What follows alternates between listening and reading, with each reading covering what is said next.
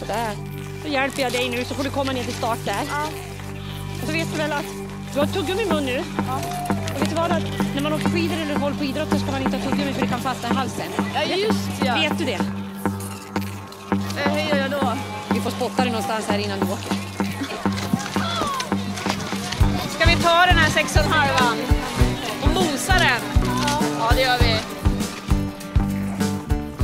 Om jag är jättenervös, då kan en kompis säga att gör det bästa du kan och då gör jag också.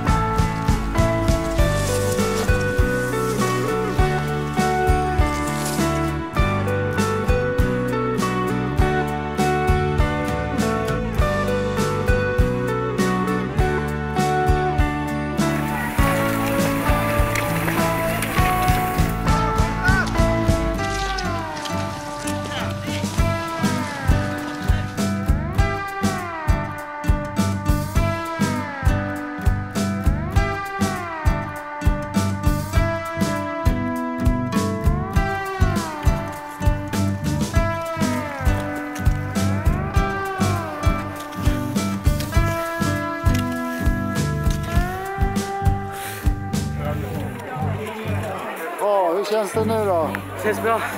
Lite trött nu bara.